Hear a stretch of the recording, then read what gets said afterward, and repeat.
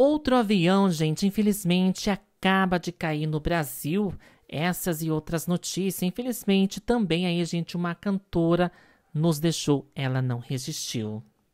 Notícia essa, gente, que foi confirmada, pessoal, agora há pouco também através dos portais oficiais da Rede Globo, com a morte, gente, de uma cantora sertaneja de 34 anos que infelizmente acabou não resistindo, gente, isto mesmo após o grave acidente que infelizmente ceifou aí, pessoal, a sua vida. Segundo as autoridades, pessoal, a cantora que eu estou falando, gente, é uma cantora muito querida, principalmente pelo público que curte, né, gente, seus trabalhos na música sertaneja. A cantora Lígia Fernandes Gonçalves, conhecida como Nanda Ferraz, estava sozinha no veículo quando perdeu o controle da direção e infelizmente acabou falecendo.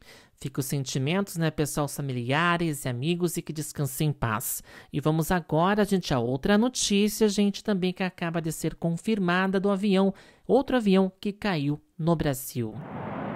Avião, gente, infelizmente acabou caindo, pessoal, deixando cinco mortes, gente. Isto mesmo, hoje em Mato Grosso, gente, um avião de pequeno porte. Infelizmente, pessoal, teve essa queda. Para quem não sabe, né, gente, cinco pessoas estavam nessa aeronave de prefixo PSAAS.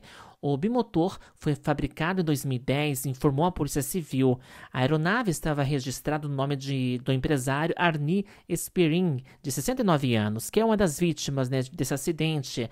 Nas redes sociais, o Clube de Futebol União Esporte Clube, time de Rondonópolis, da qual ele fazia parte, já foi presidente também e lamentou, gente, aí a morte também o clube, gente. A aeronave estava ainda, ainda com outros três passageiros e pilotos identificados como Elder de Souza, de 44 anos. Segundo o site UAU, a pousada, né, gente, aí que se chama Amazônia Finchins, que fica na divisa de Mato Grosso com Pará, informou que as vítimas estavam hospedadas no local desde a segunda-feira, dia 12, para praticar pescaria.